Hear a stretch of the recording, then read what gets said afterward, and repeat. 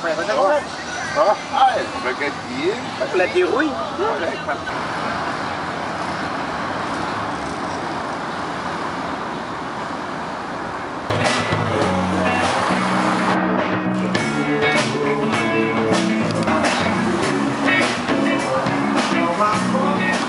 Yeah. Amiloide, fiz uma